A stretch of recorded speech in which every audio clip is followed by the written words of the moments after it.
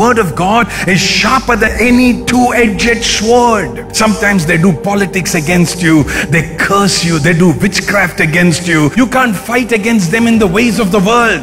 But there's one thing you can do. Hey, you can get home, get down on your knees and talk to your heavenly Father, the God who shut the mouths of the lions in Daniel's den, the God who turned fire cold for Shadrach, Meshach, and Abednego and walked with them in it. Is the God you and I serve, and His word will take care of the enemy that comes against you.